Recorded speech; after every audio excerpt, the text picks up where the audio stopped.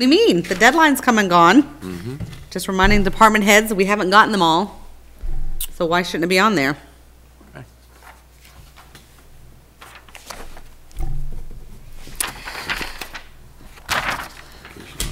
One oh nine?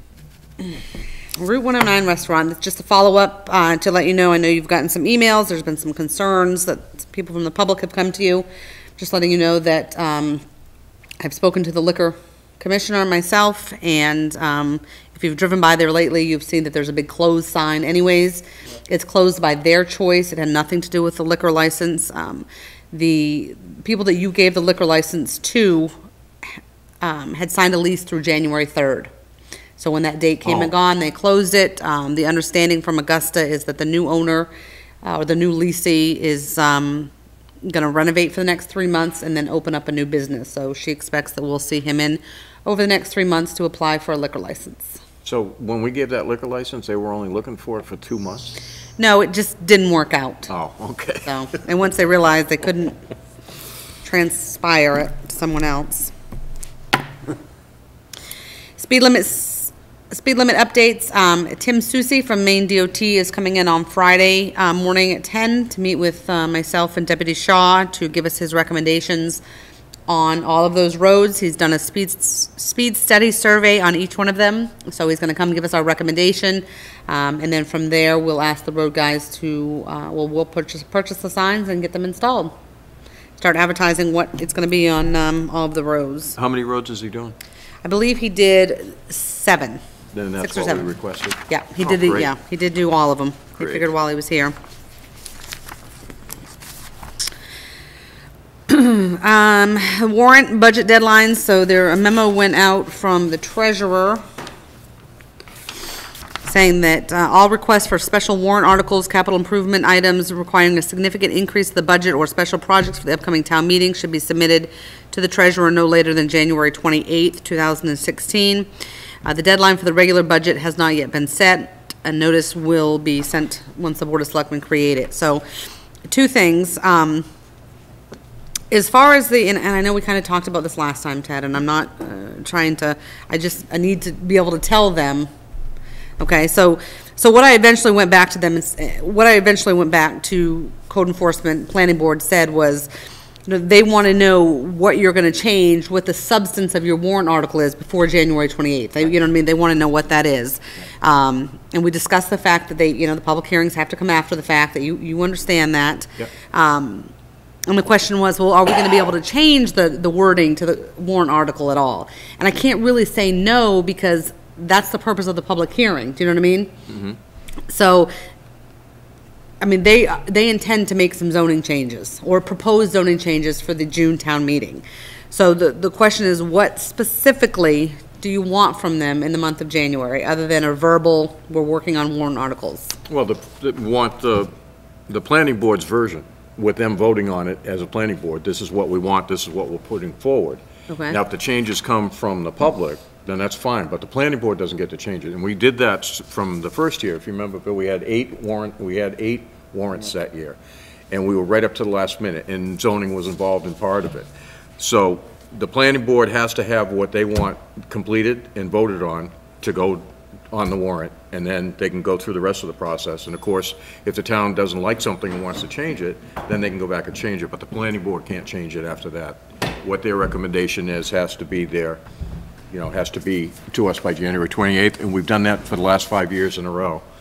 Um, So- And I, I don't want to change it, I don't know if, if you two do, but I do not want to change it, because otherwise we end up back with the same problem again, with going over and over and sending it to Warrant and Finance, and then coming back, and then rewriting the whole warrant, and it ju, it was a nightmare, and it's worked really well, having that deadline for everybody, it's not just, you know. No, I know, that- right, at this it's point, Every right. department, anybody wants to put anything on, special projects, um, any new charities want to come in, and, and it's worked really well, instead of trying to go all the way till April and then adding people on, it was a nightmare, it really was, it was a lot of work, and we didn't really have a good warrant that year, so I don't want to go through that again. And they had plenty of time, um, to get it through, and they know they want to do it, so I don't see any reason why they can't have it written up by January twenty-eighth. Okay. And then in regards to the budget, So the Um, deadline's gonna be the twenty-eighth for that, and, Didn't we do like the 15th or something of February last, year- for the Um, last several years? yeah, I, thi- well, I think it's usually a little later than that, Went but, to the end of February. Yeah. Yeah. Yeah. And what, what does Michelle recommend? What does she need? I think it's, it was the end of February is what she was looking at. Okay. So I'll, and I'll confirm with you what date, I'll talk to her tomorrow, but we'll confirm what date in February. Ma- Um, Make sure she tells us what she would like. Um, and yeah. then the, um, so after that, you'll, s- you can set a schedule as far as warrant and finance and so forth. Um, the superintendent did stop in today and asked, inquired about warrant and finance and, um, when they were gonna start meeting and, you know, because the school's gonna start their budget meetings and so forth, so. Well, I imagine Warrant and Finance will start attending their meetings, and then they'll start calling their meetings as they see necessary with the school budget. Um, But they, we won't, when do we usually do our meeting with Warrant and Finance? That's usually right after school budget, right? After the school Yeah, vote? sometime in there. Yeah, so we've got plenty of time before they have to worry about ours, so we'll leave it up to Warrant and Finance when they think it's necessary for them to meet in order to go over the school budget. And then, um, but also if you could ask them, um, I don't, do you folks want to do all the charities again this year, or do you think we're good because they'll all be the same ones? Do we, unless we get some new ones? As far as having every charity come into Yeah, us? if you don't have new ones, if uh, it's just a repeat, you know, I don't think you have to drag. I think the them. way we've been doing it the last couple of years have worked well. Okay, so ask Warren Warrant and Finance if they want to meet with them. Um, But I'm good with the ones that we already have. Any new ones, I, I think we should have come in to see us. Has Warrant and Finance ever got involved with the, Um, I mean, they don't. no, have- they, they haven't had, they haven't asked for them to come to their meetings, but I just want to offer. So, you know, everything's out there if they want to talk to somebody. Because I know one, one year, um, last year, um, Warrant and Finance made some changes to it because some, some of the charities that we've been doing for years had changed their name. And then there was a new charity in Sanford that was actually replacing several of the other charities. So Warrant and Finance did make changes, and we went with them because of that new clinic that had opened up in Springvale. Right. Instead of paying for the Biddeford Clinic, they wanted to do the. Springvale Clinic. So give them the opportunity to do whatever research they want and uh, make their recommendations, because it really worked out well that year with them doing that on the charities. Well, as long as they move fast, Yeah. table it. Yeah, that's why I say, if we start now and they, they got plenty of time, instead of waiting until after they're done with the school board, then they can set their own meeting time. Um, in regards to the budget memo that's going to go out, um, what is it you're asking of the department heads that you control? I know the elected officials, but we went in, went to this last year with, you know, what are we looking for for their employees? The library, the, you know, the road guys, are we telling everybody, you know, the flat, they can go up three or five percent? Are we telling, you know, um, you know, we, I need some sort of direction unless you're just gonna be open to anything that comes in. I'd like to see um, figures from Michelle on what it would be, because we're going to have a lot of new employees this year with the fire department. Um, I'd like to see, you know, what 2%, what 3% as far as raises, what it'll it'll do to the tax rate. And is that something, I mean, we can, we can do that based on the rough estimate of how many people are gonna be at the fire and rescue? Yeah, just, well, it's everybody, though, you know, like we did this year. Will we do a 3.5% raise for everybody? Three. 3%? So we knew what that number would be and how it it would affect the uh, tax rate. Do we have any other large warrant ar- articles that you're gonna be looking for this year? Other than you're gonna finish siding the building, but that's Yeah, not gonna be, I- I definitely want to do that, right? Yeah, I Get think it so. Yeah, I know so. We gotta get that done. All done with one, one, one Yeah. thing, but, so um, close. anything, any other big projects that, um, I know Peter Smith has been bringing up the last several years that the backside of the fire department roof needs to be done. Um, we might want, if you want to put that forward as a, as a special project this year, chief, I don't know what it would cost. I think he said it was like eight thousand dollars or something like that. Yeah, we looked at, um, we did, we looked at that uh, a couple of years ago, meaning that we've gotten, the bill, we're almost 20 years into that building now, so. Yeah. What the life expectancy was, so. um, We've been uh, setting money aside. I think we started a program on that, Okay. So. Well, if you could figure out what you've got and what you'll need, and we can put in the extra for that, because that should be done. And with what I saw, it cost us to do this whole building with that um, company out of Berwick. Yeah. They did an amazing job. Yep. all Um, I and think it'd be well worth to get it done. Yep. Um, So we don't get any leaks in there. Well, that's just it, that's just it. Like I said, we, you know, we built that in ninety-eight, so, Yeah. so, you know, twenty years is coming up quick now, so, yep. Yeah, I'll talk with Peter on that, and we'll see, we'll, I'll, I'll get back to you on that. Okay. Okay. Uh, okay, um, So, other- let's see. there was Nothing something- else? Something else I wanted to mention for our warrant, and I can't remember what it was. I definitely wanted to do the, um, finish the siding. Library entrance. Oh, yeah, that's the other one. Yep. Yeah, I forgot about that. We want to get a, a bid on, or a price, so that we can go out to bid on, um, matching the library entrance to the new town hall entrance. I have spoken to Mr. Letourneau a couple of times, we'll say, and he assures me that he's going to be out to give us a quote, so I'll keep calling. Okay. Now, we didn't use any of the maintenance budget for the siding. We used the money that we had gotten from the town to do the siding, so we should have some money left over there for, um, to go forward too, towards the siding job next year, so.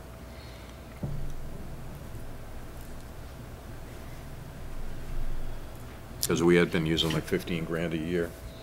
Or do we want to look at closing that well? Well, we really should close the well. That was what, three thousand plus? Three thousand dollars, yeah. Yeah. I mean, they probably can't do it now till spring, but that's okay. Yeah. We, we really should Do get it out that of this done. year's budget. Yeah, Yeah. yeah, we really should. Okay. Have we done a, when was the last time we did a water test on the new well? Mm, It's been a while. Several months, You want to do another one? Something to think about probably, just so we keep a benchmark on it. Okay. You don't have to do it tomorrow, but it's just something we should do really soon. Uh, next item. So I guess, so, actually, real quick on the budget, so I will talk to Michelle, we'll agree on a date, see if I can get you some rough numbers, and then next week come back to you. So I'm not gonna send a memo out to them yet for that February deadline until we know what to say in it, you know, the board is requesting a flat line, or the board is recommending, you know, just so they know somewhere to start, because it doesn't do any of us any good to put our budgets together if you're not gonna support, you know what I mean? Yeah, also want to, because we just did a, a projected budget for the fire department, um, and of course, I know we didn't start it until late, um, but I'd like to see how that looks, um, you know, as far as whether that's, wasn't enough money for what we're actually going to be doing once it's combined, or if it was way too much money or what, I'd And like to. at this point, we'll be lucky to be combined by March. I mean, the rate we're going, honestly. Right, but I mean, if we, we're going to be way over this year because we projected for the whole year, Right. But I just want to know what we probably, you know, we got a better feel for it now that we know what we can ask for for next year for. for Right, that. but until we can consolidate and figure out who's doing what positions and how many people are gonna be hired, we don't have any numbers to go by. You No, know I what I mean? figured, I thought just with, uh, give you a rough idea with what we've been paying everybody since what? Right, but they're just, September, they're October. getting, um, well, aren't they just, they're getting stipends, not some, I mean, she doesn't, we're not paying the regular full-time employees yet, right? No. So, and- but that's what we need to focus on, right? Because right but now, we- we're paying but a lot of at least look at overtime. the Stipends account because they're working every day. Yeah, Yes, yes, we, we, the, the, the wage scale that was set up with Right. Peter and the select, that's what, that is what, um. Right, but it's gonna be staffed with other people, right? When we, when the time comes, when we cross that Right, bridge. so you're not gonna when we- have all these stipends. Well, we know what those salaries are going to be because we're going to hire those people based on That- that that's salary. So correct. we know that, that's a, that's a. And how many solid hours a number. week? Are we gonna still be paying, cause I- are we still gonna be doing overtime? There's no overtime. It's going to be a salary. There's 'cause it- overtime. Yeah, You're gonna wanna check with your treasurer. I assure you, over there's overtime. 54 hours, right? Fifty-three hours, uh, 53. two hundred and twelve hours in a twenty-eight day cycle. We'll talk off the record. Yeah, but we work, that's been taken care of. Um, But, uh, yeah, so when the time comes, when we get to that, that bridge to cross, and that's, like you said, we need to sit down and, with the committee, I would, I would think that we'd probably go that route and, and see But, what, uh, I mean, Well, I, I don't remember No. The committee anything is- in, in there about the committee looking at your budget. That's gonna be, the Oh. fire chief is gonna be doing that. Yes, that's correct, yes. But right now, right now, the monies that are being spent is Right. that salary scale that, that- that Peter Smith put together with, with you selectmen and everything. Right. um, Back X uh, months ago. And Right, but it everything, was, a that's what net- we it go was a by. big estimate, and I just want to see how close we are, and we, Yep. I think we have enough numbers that we can figure that out. Yep. Um, Because it would be huge if we can go down on that this Yes, year. oh, definitely, but like Jennifer said, until, 'Cause that was until four- things are what, consolidated and we $450,000? got some kind of a base, right now, we don't have a baseline. We have nothing to start We with. have nothing to go by, we're just, we're Abs- just. No, I, I have no Yep, so- complaints about it, but it'd be really good because of the Oh, rate, definitely. the way we had to go up in taxes last year, it'd be great if it was flat or, or less. It is, that's all I want It to will look be. at. It should be. Yeah. It should I- I'm pretty sure it's gonna fall flat or less, so. Yeah. Not that I'm looking to cut it, but I mean, I think, I think that number is still gonna be a very usable number. Yeah, and I think moving we were, forward. we were high when, Yep. when we thought that, and that was kind of the thought is, but like Jennifer said, we, we got no baseline, so that's what we gotta work off, so. Yep. Thank you. So 2013 foreclosure notices, just wanted to let you know that we have sent out foreclosure notices. Um, We have a total of 20 properties that are subject to foreclosure um, in about two weeks. So we'll keep you posted on that. A lot of them going to be paid before the end? Do you think? I would say that out of 20, I expect that at least 10 to 15 are paid. Okay. I expect the town will own a few of them, Oh, seriously? seriously. Oh, that's too bad. They're second homes, if that makes you feel any better. No. What? Second homes or second Doesn't make me properties. Feel any better. Well, some of them are just land, though, I guess. I didn't mean Oh, to say. I didn't mean to say it like that, to come on, but they're really not, not heartless. Hmm, no, we, moving on. Last thing I put on the agenda was winter sand. And I put, this- I thought David's eyes would light up. The only reason I put this out there is because I know we're on television and just kind of wanted to clear up. We had gotten a couple of emails, I think I told you guys, or maybe I didn't, we got a couple of emails. People just wanted to make sure they knew where they could get, um, sand in the meantime, because apparently, right, free sand, there wasn't any at the transfer station. So I spoke to both David and Scott, and, um, Scott took care of his side by adding sand to the salt shed, and David was taking, excuse me, Scott took care of his end by putting sand at the transfer station, so people can get it there when it's open. And David is handling the new building site. They're in the process of figuring out where they're gonna put their old little shack and let people go in there. Right? Yep. That was a uh. prime shed built by my students, I'll have you know, not a shack. It was even movable for Just construction. never win with these three, It just was never. even No movable matter how for much you do, you construction. just Now it can't can go win. back and, and Just- and be useful again, and the town didn't lose any money. Jed, excuse me. Eric, did you get that? With the, uh, Update. with the holidays, in the last couple weeks here, um, I'm trying to get, I'm gonna try to line up something with Ken Paul. We have to figure exactly where we can put the building with the uh, Need a setback. permit for that? Well, sounds of it, it has to be at seventy-five feet, twenty-five feet. I'll Can't just- go back where it was. No, because I, when I, when Scott and I Fix all that, laid out, yeah. we, that's why we moved the, um, the shed originally, because, um, we ended up having to put a new shed where that one was. So, uh, say our new shed's about seventy-eight feet off the road, that means there's no room there for the, um, for the little portable salt shed there. So, um, I'm gonna try to line up something with Ken here very shortly, see if we can find an alternate spot down there. We're gonna try to find something where it's close enough to the road that they're not, they're not pulling into the town shed, so they're not in our way down there. Right. But, um, How about res- right beside Ken's office, right at the end of the? we, we very well could do that. It's it's away from all the roads, all the Yeah. setbacks are set? And, but, you know, we're, we're, at the same time, um, the where we had the shed before worked great because we could keep it full. Yeah. Just take the loader fruit instead of, you know, because for Scott to have to haul the sand up there, you know, that's, that's time, money. We're saving money by doing this down here. It's more accessible, but, um, I gotta. is accessible twenty-four seven, too. It's accessible twenty-four seven, and, um, but I'm gonna see if, you know, really what guidelines we have to go by.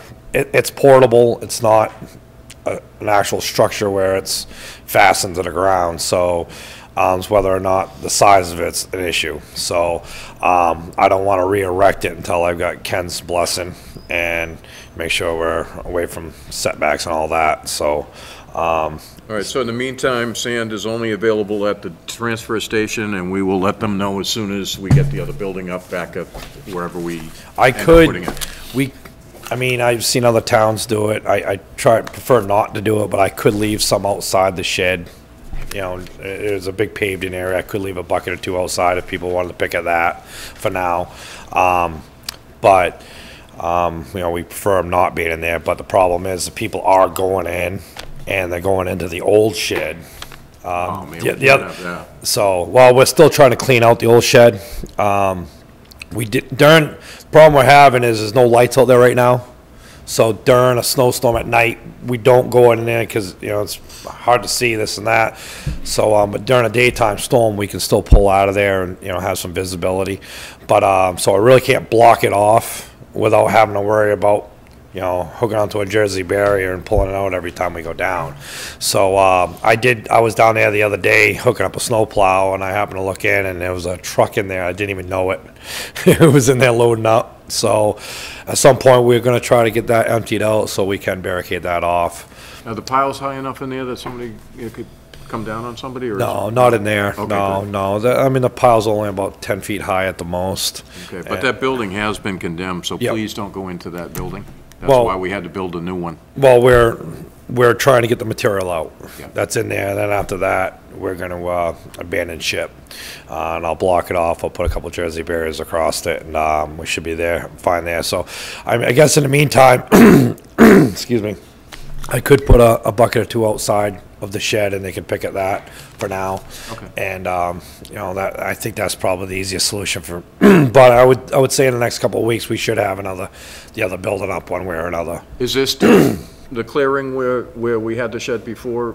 Is there enough room there We, to we, pull off? we, well, Up further from the I, driveway? we could, we, I mean, I, as a perfect spot up there, that'd be ideal to have it out next to the road, whether or not we have to go by our setbacks. That's the only thing that's holding us up, you know. No, I was whether- thinking for temporary, if you put a couple of buckloads up there, then they. Uh, we, we don't, you know, I mean, it, we, we try to keep our salt sand on the hot top so we can clean it up. Oh, okay. So. So it doesn't get into We don't want to be dumping it all over the place, so that's why I said I could dump it out on the hot top and we can clean it up later on, or if it freezes up or whatever.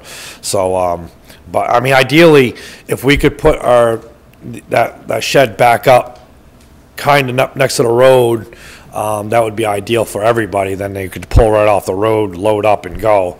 Whether or not, um, Ken's gonna let us do that, I don't know yet, so, um, I guess it's up to him and you guys. So I'll, I'll talk to him about it, see what happens, and if, I did give him a heads up that you'd be coming Yeah. to speak to him about it, so he's prepared and has some ideas. yeah. Oh, he does? Okay, good. And other than that, the, uh, the new shed's working out well. You know, it's, uh, working out real well. So I did make a phone call into, um, Da- uh, Dave Alexander about, uh, hooking up the power. Um, there was monies left in the account, so we can hook up the power to the. To the old build, the old old, building? the old building, so we have power in there. We don't have no lights or nothing in there when we go get the loaders in the middle of the night. So, um, um, I'm just waiting for his call back. I haven't heard from him yet. I'm sure with the holidays and stuff, he's busy, so. That's the guy that did the new building? Yeah. Yeah, he did a good job. Yeah, he did do a good job. A nice guy, and uh, he gave us a, a a reasonable price that's well below the um, price that we have to put out the bid. So I I feel comfortable with the price that he gave us. So, um, um, so I'm just waiting back from him to see about getting a, a set time to have him uh, hook that up. So, um, pretty much all he's going to be doing is just hooking up so we got lights and stuff in there. We're not doing nothing crazy. Just what it was before, just lights and outlets?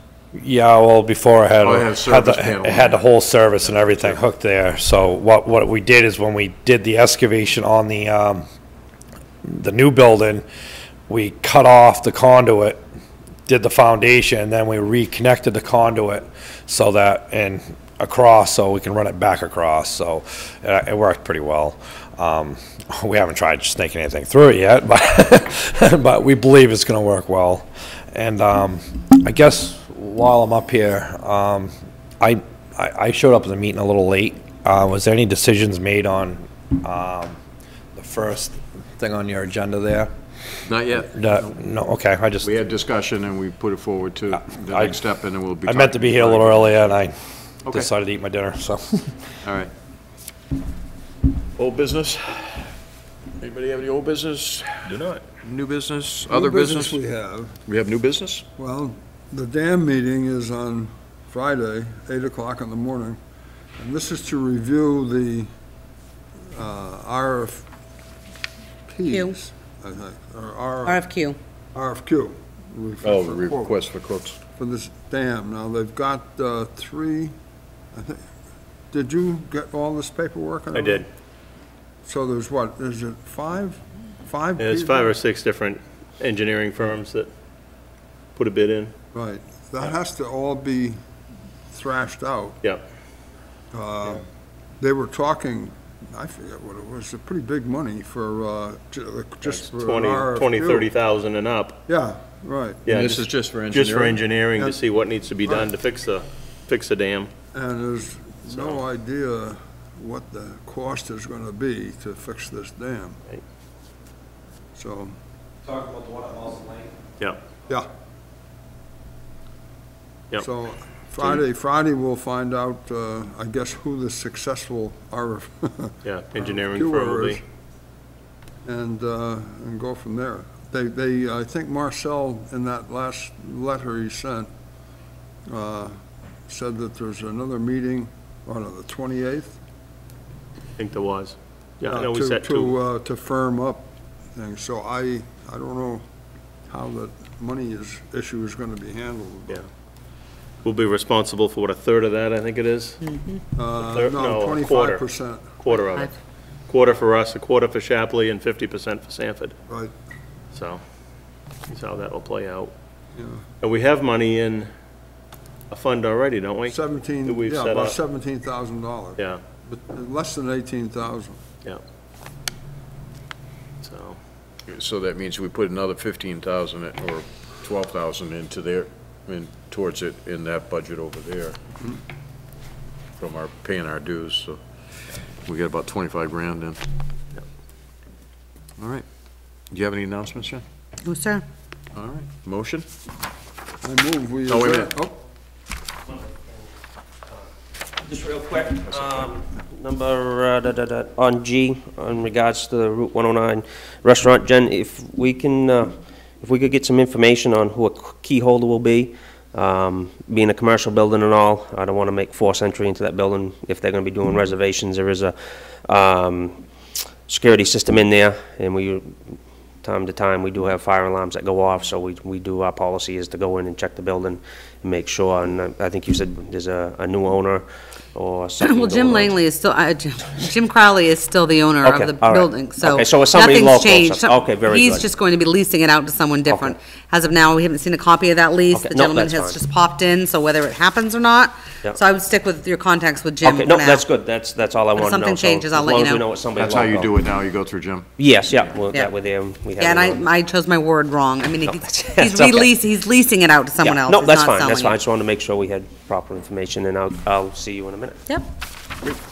Motion? I move we adjourn. seconded. All in favor? Still gotta sign At those. 5:50 PM. Oh, both of those. Okay.